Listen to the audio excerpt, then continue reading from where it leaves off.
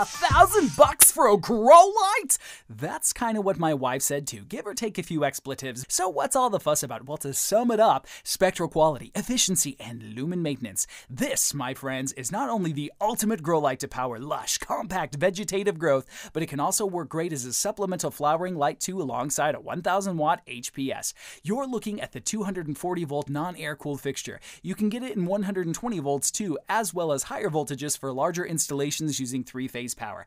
I have to admit that I'm a little bummed out that I took the plunge just before an air cooled version came out, but I'm also loving the results from this open fixture. Just be sure to use suitable lamps that are rated for use in open fixtures. There are some ceramic metal halide lamps out there that do not have the extra protective outer jackets like the Philips do. Trust me. Should the arc tube rupture on an unprotected ceramic halide lamp, you do not want to be in the same room. No, sir, it's just like my Aunt Peg after Tuesday taco nights. Clear out. Okay, as you can see, the LEC 630 houses two lamps. Each lamp is 315 watts. The bad news is that they cost just over hundred bucks each. Ouch, yes, more money, but listen, the good news is that the lamps come included with the fixture, and here's the really important thing you won't need to replace them nearly as often as a regular metal halide. In fact, Philips boasts 90% lumen maintenance at 8,000 hours of use, and this only drops to 85% after, get this, 20,000 hours.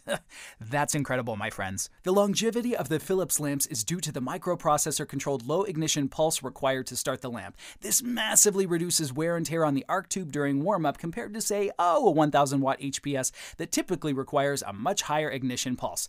Right, what else? Well, actually, I'm not even done yet talking about efficiency 1.9 micromoles per watt per second. That, my friends, is a whole lot of PAR. And if you don't know what PAR is, then do check out my other video that explains it all. Now, in that video, I can see that PAR is a useful measure of lighting intensity for plants, but it's not the be all end all true. Okay, spectral quality is also crucial for optimal plant health and development too, and this really is where the CDM lamps shine. Both the 3100 Kelvin and 4200 Kelvin lamps boast a full spectrum, not just a big peak in the blue red portion, but they also have higher amounts of UV for increased pest and mold resistance and essential oil production, and far more red too. So, the lamps are driven by two Philips low frequency electronic ballasts. These are incorporated into the fixture itself, one at either end. The ceramic arc tubes are also able to withstand highly caustic sodium amalgam even at very high pressure. To be on the safe side, you'll want around a 3 foot distance between the lamps and your plant canopy. I've had it as close to 30 inches and the intensity is incredible. But you do start to feel the radiant heat which will inevitably stress your plants. For multiple overlapping lighting patterns using 1000 watt DEHPS, you can hang the LEC 630 at the same height, making it easy and practical to mix spectrums. I'm achieving 300 to 600 micromoles over a 4x4 area here, and using my infrared thermometer, I can see that I have no radiant heat issues at a 3 foot distance. The leaf temperatures are consistent. Optically, the Philips CDM lamp is superior to standard HPS or standard probe start metal halide due to the round construction of the arc tube, helping to create a more even light plane. I'm particularly impressed not just by the PAR readings directly beneath the lamps, but across the entire 4x4 plane. And this is thanks to the high quality reflector, which is largely comprised of 98% reflective German Miro silver awesome. You need to treat the lamps with respect. Don't cut the power before a CDM lamp has come to full brightness or you risk permanently damaging the lamp. A vertical base up lamp position, as in the LEC 315 model, is actually superior in terms of lamp performance and optics. I find there's much less direct radiant heat from the lamp as it's vertical in position, so like I said, do take care to hang the fixture at an appropriate height. To summarize, if you're looking to give your indoor plants a flying start in life with compact internodal spacing, health, and vigor, then this right here is your upgrade.